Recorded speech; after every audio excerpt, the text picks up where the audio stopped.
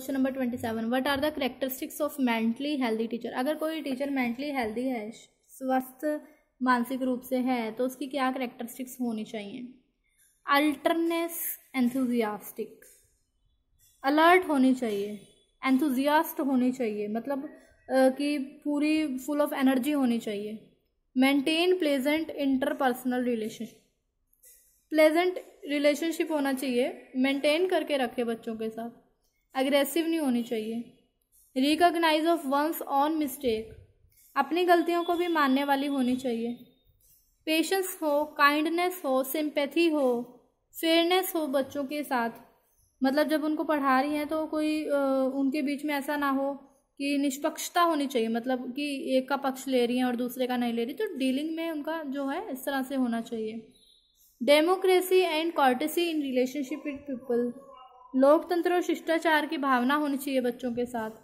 Ability to use praise for work well done ability हो कि अगर बच्चे ने कुछ अच्छा किया तो उसकी प्रेजिंग करे, उसको प्रेज करे।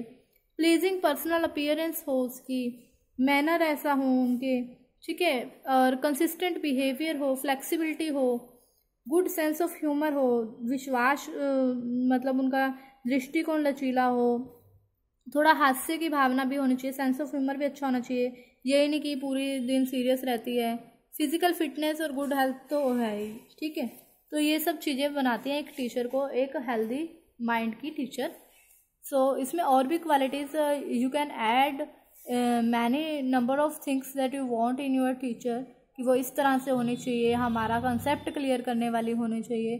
तो जो भी आपको लगता है यू कैन ऐड इट और अगर आपको कोई आप, ऐसी टीचर को जानते हो जिनमें आपको लगता है इनमें ये क्वालिटी है तो आप वो भी लिख दो, ठीक है ना? तो आप इसमें और मैक्सिमम कोशिश करना करेक्टरिस्टिक्स लिख नंबर वन पॉइंट बनाया अल्टरनेट एंथुजियास्टिक उसके बारे में थोड़ा एक्सप्लेन कर दो कि किस तरह से वो एंथुजियास्ट है। हो, ठीक है? ऐसी क्यों हो, ठीक है? इस तरह से लिखोगे एक्सप्लोर उसको और ज़्यादा एक्सप्लेन करोगे तो आप मैक्सिमम पॉइंट्स गेट करोगे, ठीक है? So this is your question number twenty seven okay let us move to twenty eight okay